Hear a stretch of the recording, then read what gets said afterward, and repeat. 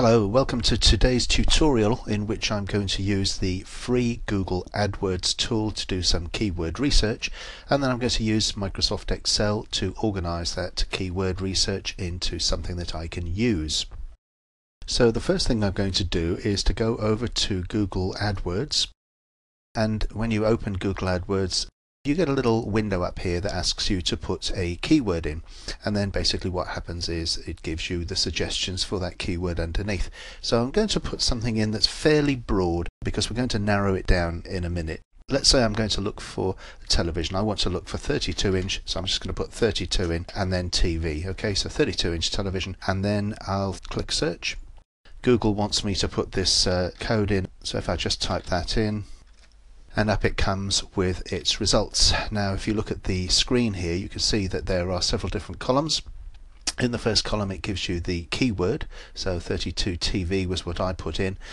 I'm going to be interested really in this column here that tells me what the competition is um, and also this one global monthly searches. This tells me how many people across the world are searching for that particular search term and uh, if I'm going to write an article about this for example I want something that uh, hasn't got too much competition uh, but does have a lot of searches. I want something that people are actually looking for. These are the first 50 if I click this little button down at the bottom it'll take me to the next 50 I'm just going to download this lot now. So the way you do that up here underneath keyword ideas you see this little box that says download I click on that and I can just download all 100. Uh, I'm going to choose CSV for Excel and click download. And now that the download is complete, you can see that there are the uh, keywords in a zipped file uh, under my downloads. So I'm just going to double click that and there are columns that I'm not really going to use. Uh, in here, for instance, we've got an, an estimated average uh, cost per click.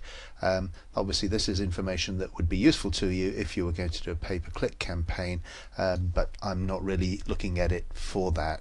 Um, I'm just going to open these columns up so that you can see the keyword, and these are the ones that I'm interested in. I need to see the competition I also see, need to see how many people have searched for it.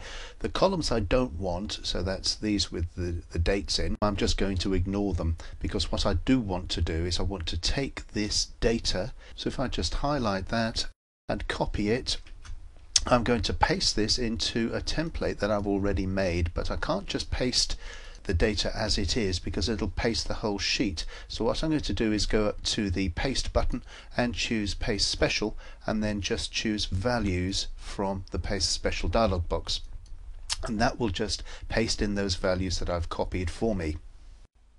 So now that we've got the data in the spreadsheet, we're going to analyze it. And there are several ways that you can do this. Uh, you probably noticed that I've added another couple of columns onto the right of this uh, data. I've got a good and a best column, and I've actually got a, a conditional function in the good column.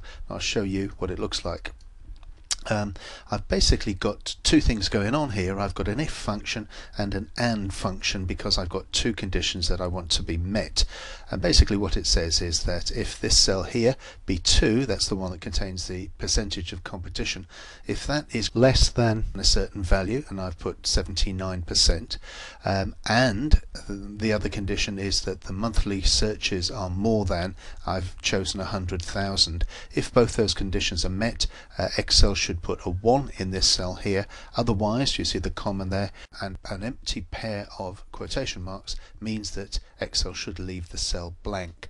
And because that is in the template, when I pasted the data in, as you can see, it's gone through and it's put ones in all the appropriate columns. Now, the best way to simplify this is to just go back up and put a filter on this. So if I just click in any cell, go to the Data tab and choose Filter, First of all, let's look for just the ones in here. Take the tick out of select all and put it in one and say okay. And now we can go through and look at the best um, percentages you know for competition. Let's look for the lowest competition first. So 47 61 and 69 so everything that's under 70% how many does that give us? Well there you go. There's quite a few uh, 1 2 3 4 5 6 7 so we've got seven there. This one obviously has got to be a best, hasn't it? 69% competition and yet a million and a half searches. Um, so I'd want to put a, a 1 in that cell. Um, and then the next down from there 47% 450,000 the same for this one so they've got to be ones as well and obviously I'm also looking at whether I think I can write an article around that search term and I think I probably can for those four. So all I need to do now is just to apply another filter to this uh, column. So if I just select the ones in the best column as well, it now leaves me with four. And what I would do with these is I would either uh, take these and put them back into the Google AdWords tool again uh, if I wanted to build a bigger list, uh, or I'd probably just take these titles and write an article about them individually.